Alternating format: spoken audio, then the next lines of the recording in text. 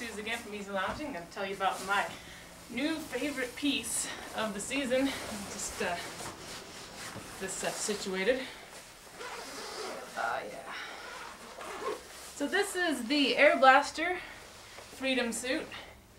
It's your, you know, run-of-the-mill 10K, 10K one-piece snowboarding suit, except for there's absolutely nothing run-of-the-mill about this. I don't know if you saw earlier, but this baby zips all the way around from side to side so that those of us who have to sit down to tinkle can do it without our sleeves dragging around on the floor or just getting absolutely freezing cold.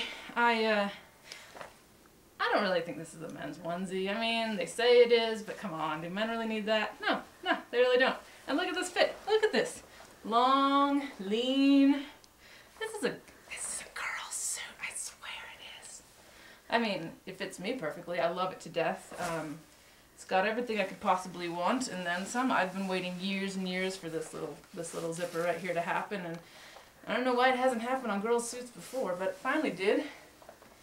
It's got uh, your wrist gaiters, got all your pockets you could possibly need, and a very very stylish Hawaiian print if you're uh, you know feel a little little Magnum PI, a little little Hawaii vibe. Um, it's, it's got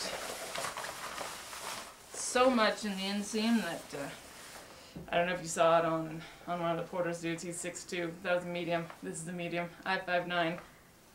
It's kind of a universal suit. Anyone can wear it. But uh, I love it to death.